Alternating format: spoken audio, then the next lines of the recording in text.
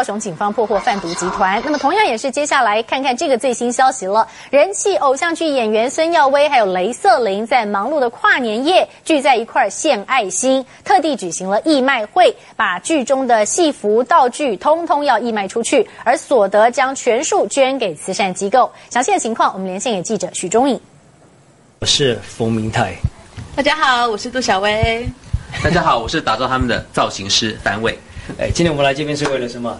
寒冬送爱心。什么是寒冬送爱心？是主播人气偶像剧描述模特儿竞争的剧情。不过戏外呢，剧组寒冬送爱心，要将剧中男女演员穿过的二手衣通通义卖出去。那么总共九十多件的价格亲民，那么市价大概是市价一折到三折左右哦。要全数所得将会捐给这个慈善机构。那么戏中的男女主角孙耀威和雷瑟琳也来到现场，那么看到自己穿过的衣服，就马上回忆起这个拍戏的点点滴滴。我们赶快来听听。他们的最新说法，所以这些衣服呢，基本上全部都哦，真的是陪了陪了我度过了那个非常热的日子。但是其实还，我我我后来看起来，其实，在电视上面并不觉得我们很热，因为可能我们都很入戏，然后所以反而感觉就是很帅的感觉。我觉得只要是可以做善事，不论是帮助到人、帮助到小孩，还是小动物，我觉得我们都要尽一份我们的力。